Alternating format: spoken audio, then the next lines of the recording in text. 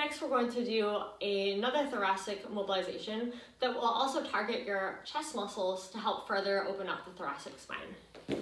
So you can lie on your side and put your roller between your ankles and knees so that it's sandwiched right between your shins. Your legs are bent 90 degrees, head is resting on your shoulder. You're going to take your top arm and touch your own shoulder. We're gonna breathe in, breathe out.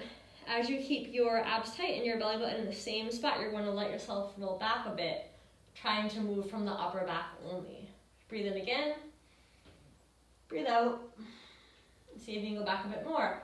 By this point, hopefully your head will be on the ground, which is fine.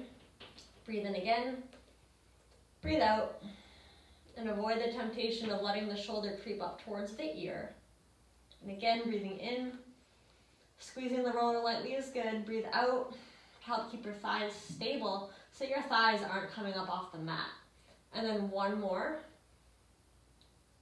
And so wherever you end up is where you end up. Don't feel compelled to be on the floor. If you have to get to the floor just by letting your knees come like that, that isn't helping anything in your thoracic spine. So legs do have to stay down for that one. And of course, flip over and do the other side too.